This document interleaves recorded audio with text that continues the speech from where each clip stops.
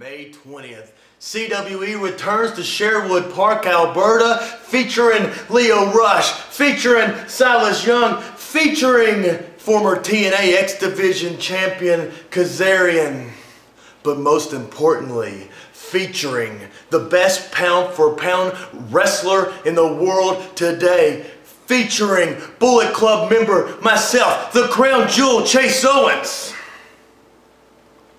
And you know, I may not have Sigmund by my side, but I think I've picked a pretty good replacement, a young, hungry replacement in Joe Keys.